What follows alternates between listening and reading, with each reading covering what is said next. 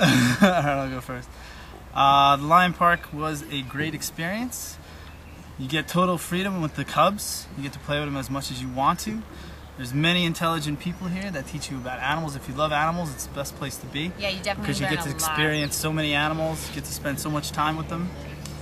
Uh, and it's just a great time. You meet a lot of people from around the world.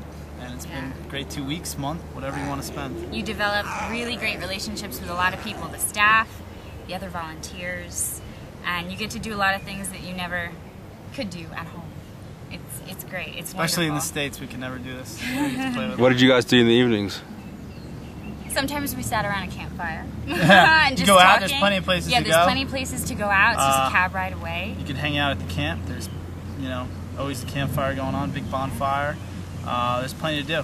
Nice accommodations. The tents are really nice. Yeah, the tents are very comfortable. Uh, the beds just- are great. Yeah, it's a relaxing time. You meet a lot of people from South Africa. They show you around. They tell you about it. They hang out with you. So it's great. Great experience all the way through. You wake up and go to sleep to the sound of the lions. Yeah, there's a Grunting. giraffe. There's a There's a giraffe. giraffe that wakes you up in the tent. And you get to play with these all day. All day. It's great. We definitely would love to come back. And uh, where you guys from?